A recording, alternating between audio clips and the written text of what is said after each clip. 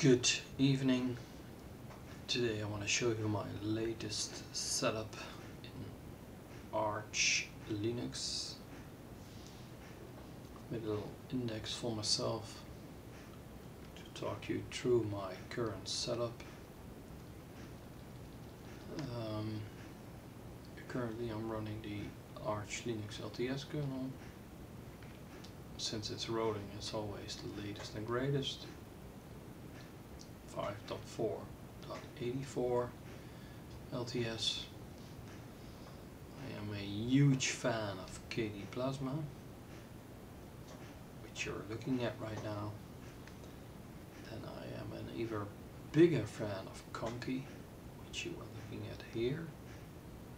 This is a widget and a lock clock. But from here it's all Conky. Then I am a fan of Latte Dock, which is running here below. And I'm also a fan of the NVIDIA DKMS driver since they give me the stability in combination with the LTS version that I'm looking for.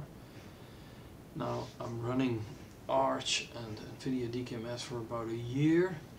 Production environment, it runs Swift, perfect, no issues. Now, KDE is Plasma specific.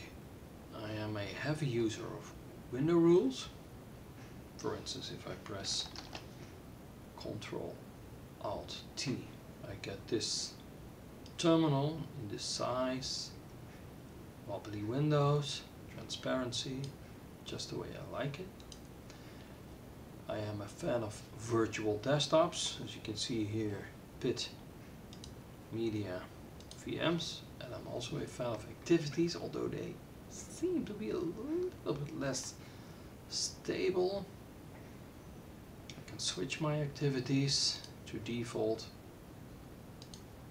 back to here and I am a maybe even bigger user, ultra intensive user of how to start applications in KDE Plasma. When I start my uh, setup maybe I should switch to my first activity, you can see that I start a VirtualBox VM called WinArch family.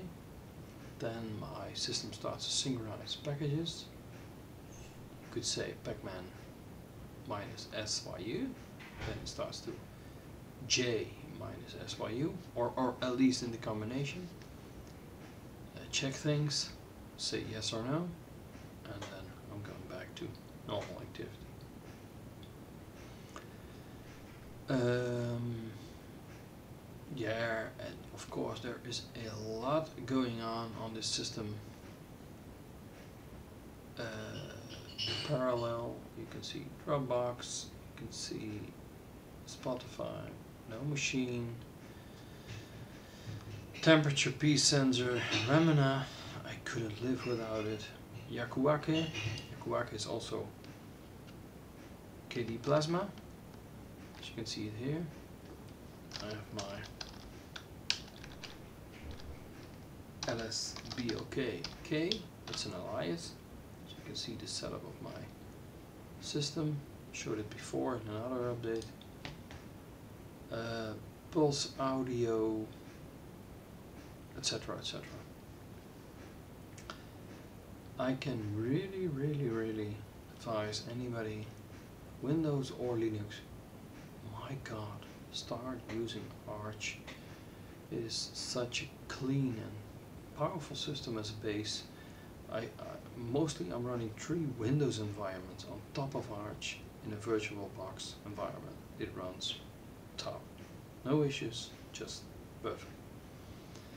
That's it for today. Thank you for watching. Bye bye.